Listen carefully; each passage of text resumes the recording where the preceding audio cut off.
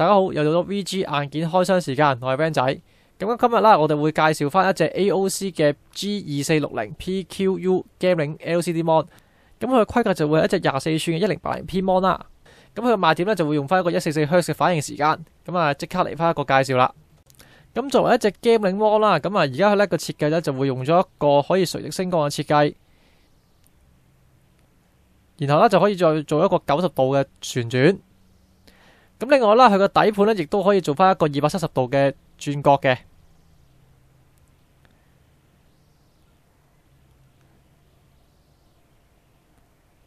咁而佢嘅角度啦，咁啊本身個 LCD mon 咧就可以向上大概有三十五度啦，或者係下向下二十五度嘅一個轉角。咁界面方面啦，喺個 mon 嘅右手邊咧就會有翻兩個 USB 头，咁其中一個咧就可以支援翻一個快速充電嘅。咁喺背脊方面咧，亦都會有翻多兩組嘅 USB 啦。顯示界面方面咧就會有翻一組 DisplayPort 啦、D Sub 啦、DVR 同 HDMI。另外 mon 呢部分就會有翻兩個兩瓦喇叭，咁啊放翻俾大家 HDMI 啦，同埋一個三點五 mm 做翻個音效輸出嘅。咁顯示方面啦，咁我利用咗啦佢本身提供嘅 Mini DisplayPort 轉呢個 DVR 嘅一條插線啦，咁啊做翻一個 review。咁其實大概去到四十五度角之後啦，咁啊開始有少少偏色噶啦。咁最後咧就講一講佢嘅一四四赫茲點嚟啦。咁其實咧喺選項裏面咧就有個叫做 Overdrive 嘅功能。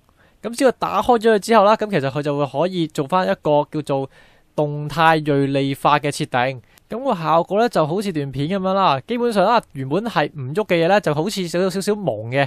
但當佢一喐嘅時候咧，就突然間夾硬啊，咁啊會見到佢個邊位咧就會好銳利嘅。咁如果用肉眼去睇咧，係明顯見得到咧，佢嗰個畫面係突然間好清晰啦，或者係叫做順暢咗啦。但係出到嚟嘅感覺咧，就真係見仁見智啦。